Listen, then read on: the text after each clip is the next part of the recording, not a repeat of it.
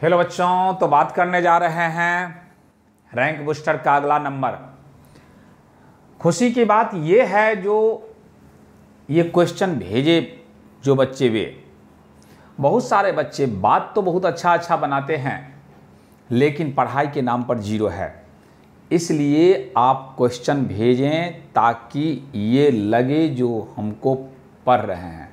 और आप क्वेश्चन भेजने के चक्कर में कुछ न कुछ पढ़ेंगे ही। बस ज़रूरत है जो पढ़ के उस बात को क्या करें आप? रिवीजन करें। तो चलिए देखते हैं। ये जे मेन का क्वेश्चन है।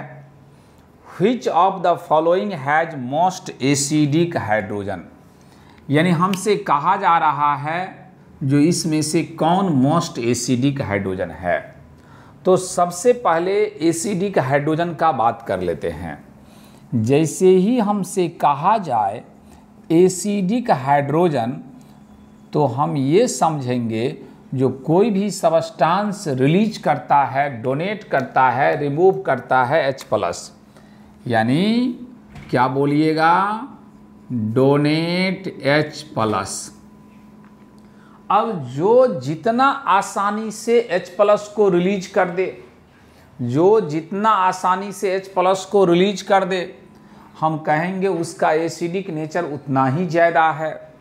दूसरी बात हम ये कहेंगे, यदि H प्लस रिलीज़ करने के बाद जो कंजुगेट बेस का स्टेबिलिटी होगा, ध्यान दीजिए, यानी एसिडिक स्ट्रेंथ है acidic strength directly proportional stability of conjugate base conjugate base यानी ये कंजुगेट बेस का स्टेबिलिटी बहुत ही ज़्यादा हो तो एसिडिक स्ट्रेंथ भी ज़्यादा होगा। देखिए अभी अभी एक बच्चे बहुत अच्छा कमेंट किए। कमेंट सब लोग आप देखेंगे। तो शायद आपको लगेगा क्या जो वे बच्चा बहुत विद्वान है। क्या समझे? और मैं मानता भी हूँ, जो विद्वान होगा, समझ गए ना? लेकिन किसमें विद्वान होगा, जानते हैं?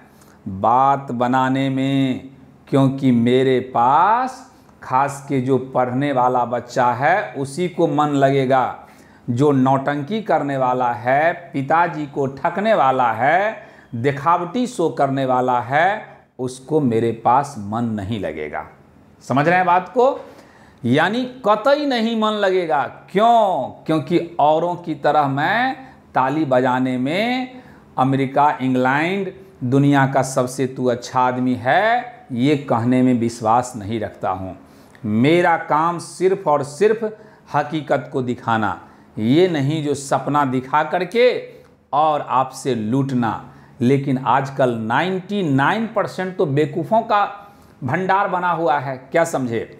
इसीलिए जो है, उसको वही अच्छा लगता है। ये बात अच्छा लगना सबसे संभव नहीं है। और जिसको वे बात अच्छा न लगे, वे जेई और नीट ज़रूर क्रैक करेगा। और जो उसको बात बनाने में अच्छा लगे, उस सब दिन वैसा ही खोजता रहेगा। समझ गए? इसीलिए जो कोई भी मेरा ये कमेंट पढ़े होंगे, उस विद्वान बच्चे का तो उस विद्वान बच्चे का पूरा कुंडली हम बता देते हैं, जो जिसको हम पहचान भी नहीं रहे हैं, सोच लीजिए वो मेरे पास कितना, किस कैटेगोरी का बच्चा होगा जो पढ़ रहा होगा। हाँ जिसको हम पहचानते हैं और वे बच्चे यदि कुछ बोले तो उस पर हम क्या करेंगे? थिंक करेंगे, सोचेंगे। लेकिन जिसको हमको पता भी नहीं, जो ये मेरे पास पढ़ भी रहा था। क्यों? क्योंकि यदि वैसा होगा तो मेरे सामने टिकेगा नहीं। समझ गए? वो कोना पकड़े हुआ रहेगा, वो जहाँ पे ताली मारेगा, वहाँ पे जा कर कहेगा, वाह, बहुत अच्छा पढ़ाई हो रहा है। समझ रहे हैं? तो चलिए, बात कुछ भी हो, आप अपना देखना है। हमको बात करना है यहाँ मोस्ट एसिडिक हाइड्रोजन। तो हम बात कर रहे हैं जो एसिडिक स्ट्रेंथ जो है directly proportional conjugate base conjugate base समझ रहे हैं? या यो कह दें एनाइन या क्या कह दें? एनायन यानी एनाइन का स्टेबिलिटी जितना ही ज़्यादा होगा, उसका एसिडिक स्ट्रेंथ उतना ही ज़्यादा होगा। तो चलिए हम लोग बात कर लेते हैं अब। सबसे पहला ए में। ए में कहा जा रहा है थ्री हैगजेनॉन थ्री हैगजे नॉन। तो थ्री हैगजे नॉन तो हैगजे नॉन मतलब कितना कार्बन बच्चों? हैक्स मतलब सिक्स कार्बन तो दो दो चार और दो छः ठीक? और तीसरा पोजीशन पे ओ एन ई किसमें लगेगा? तो कीटोन। जैसे देखिए, होता है क्या? कुछ क्वेश्चन ऐसा होता है, जो एक क्वेश्चन के सहारे बहुत सारे बात को पहचानना होता है।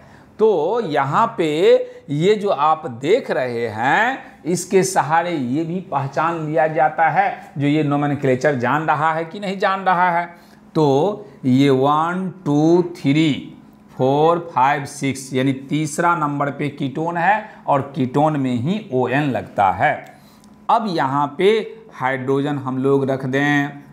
समझ गए? यहाँ हाइड्रोजन लगा दें, सभी जगह होगा। अब उतना टाइम टेकिंग नहीं करेंगे। फिर टू फोर हेक्सेन डाइऑन। एक, दो, तीन, चार, पाँच, छः, दो दो, चार, दो, छः। Two four. दूसरा पे लगा दीजिए कीटोन और चौथा पे लगा दीजिए कीटोन और फिर सभी जगह हाइड्रोजन होगा। फिर इसी तरह से सी में चलिए बात करते हैं।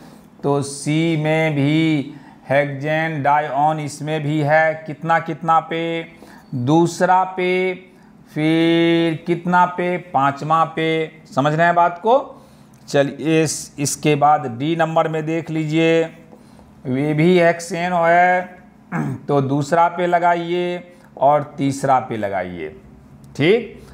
अब यहाँ पे हमको क्या बात करना है? Most acidic. देखते रहिए। समय लगेगा, लेकिन आप एकदम जो है सो बहुत अच्छा हो जाइएगा। चलिए, यहाँ पे ये फंक्शनल ग्रुप है और फंक्शनल ग्रुप से डायरेक्टली अटैच्ड कार्बन को अल्फ़ा कार्बन कहते हैं। तो ये अल्फ़ा कार्बन यहाँ भी अल्फ़ा कार्बन यहाँ भी alpha carbon alpha carbon alpha carbon alpha carbon alpha carbon alpha carbon alpha carbon अब क्या करना है आपको? हाइड्रोजन रिमूव करना है। कहाँ से? अल्फ़ा कार्बन से। क्यों हाइड्रोजन रिमूव करना है अल्फ़ा कार्बन से?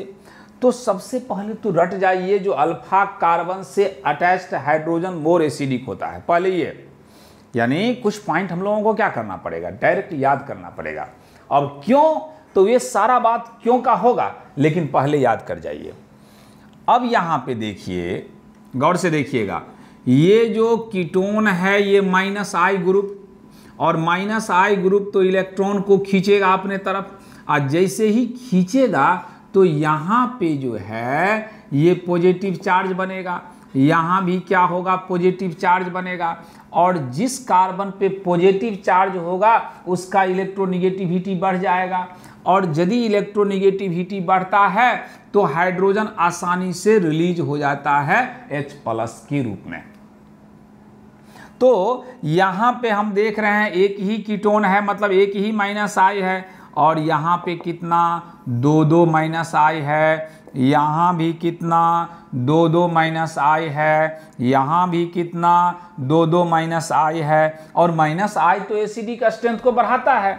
यानी हम कह देते हैं, जो एसिडिक स्ट्रेंथ जो होगा acidic strength way directly proportional minus I minus M और inversely proportional inversely proportional plus I plus M तो यदि इतना हमसे ये पता है, जो माइनस आई एसिडिक स्ट्रेंथ को बढ़ाता है तो इतना तो श्योर हो गया, जो ए आंसर नहीं होगा। क्यों? क्योंकि ए में केवल माइनस आई एक ग्रुप है, और इस तीनों में माइनस आई का एक से अधिक है। अब चलिए आगे बात करते हैं। ये बात क्लियर हो गया? अब यहाँ तीनों में देखिए। तीनों में इसमें जब देखेंगे तो इधर से भी अल्फ़ा हाइड्रोजन हटाइए और इधर से भी। तो यहाँ हटाइएगा तो माइनस, फिर यहाँ पे इस तरह से ये माइनस। क्लियर है? ऐसा, ठीक? अब आगे का कार्बन नहीं दे रहे हैं, अपना देते रहिएगा, टाइम ज़्यादा लग जाएगा। फिर इसी तरह से यहाँ का सी एच टू माइनस अब एट ए टाइम एक जगह देखना है, लेकिन हम लोगों के पास समय कम होने के कारण जो है हम फटाफट क्या करते हैं, आपको ये समझाने का कोशिश कर देते हैं। समझ रहे हैं बात को? यानी समय कम के कारण, ताकि लेंदी ना हो जाए। इसलिए जो बिना पढ़ने वाला भी कुछ देख ले, पढ़ने वाला को लिए तो कोई लेंदी की बात ही नहीं है। बात है जो बिना पढ़ने वाला, और आप जानते हैं जो जैदे संसार में बिना पढ़ने वाला है, पढ़ने वाला की संख्या तो नगण्य है, बहुत ही कम है। जैसा कि कमेंट से पता चल रहा है तो चलिए।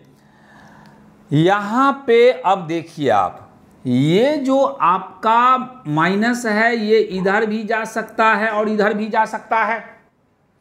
अब बात मामला दूसरा हो गया, यहाँ पे ये काम करने लगा माइनस एम की तरह से। यहाँ भी काम कर रहा है माइनस एम की तरह से। क्योंकि आई और एम तो एम तो बहुत और अच्छी बात है। ये माइनस एम, समझ गए? ये भी माइनस एम। समझते रहिए, बहुत उलझा हुआ बात है। अब आप ये देखिए, जो दो निगेटिव एक दूसरे के नज़दीक रिपल्सन ज़्यादा तो स्टेबिलिटी कम। फिर यहाँ पे देखिए जो यहाँ ये रिजोनेंस कर सकता है, ठीक ना? यहाँ भी रिजोनेंस कर सकता है। तो इस निगेटिव का एक ही तरफ़ मूवमेंट है, लेकिन ये जो निगेटिव है, ये दोनों तरफ़ माइनस आई माइनस एम है कि नहीं है? तो जब दोनों तरफ़ है, जिसको हम लोग क्रॉस रिजोनेंस कहते हैं यहाँ ये क्रॉस रिजोनेंस के कारण मतलब यहाँ पे निगेटिव का मैग्नीट्यूड कम से कम हो जाएगा। और जितना किसी चार्ज का मैग्नीट्यूड कम होगा, उसका स्टेबिलिटी क्या होगा? ज़्यादा होगा। और सब में क्या है? यहाँ तो रिपल्सन ही हो गया। यहाँ पे केवल वन साइडेड का बात होगा। तो यहाँ का जो निगेटिव है, ये बाई डायरेक्शनल डिस्ट्रीब्यूट हो रहा है। और जितना ही बाई डायरेक्शनल डिस्ट्रीब्यूट हो तो यहाँ पे जो निगेटिव चार्ज है, वे निगेटिव चार्ज का मैग्नीट्यूड कम से कम होगा। समझ रहे हैं बात को? तो इस तरह से ये जो है एसिडिक स्ट्रेंथ यदि कहा जाए एसिडिक हाइड्रोजन यदि कहा जाए तो कौन सा होगा? बी होगा बच्चों। तो सिंपल वे में हम लोग इतना ही कहेंगे माइनस आई के कारण माइनस एम के कारण। और मेन हम यदि समझने की कोशिश करें तो stability of conjugate base stability of anion तो इस तरह से इसको बार बार सुने, और जितना भी क्वेश्चन हो, संभव हो, आप क्या करें, भेजें, हम प्रयास करेंगे आप लोगों को फुलफिल करने का। समझ रहे हैं ना बात को? और जो भी बच्चे उस तरह से, जैसे एक बच्चे बहुत अच्छा कमेंट किए, भगवान उसको उसी तरह का सुबुद्धि दे। समझ गए ना? वो कमेंट वैसा ही करते रहे ज़िंदगी भर। समझ गए? वे ऐसा ही उसका ज़िंदगी चलेगा। ठीक है बच्चों?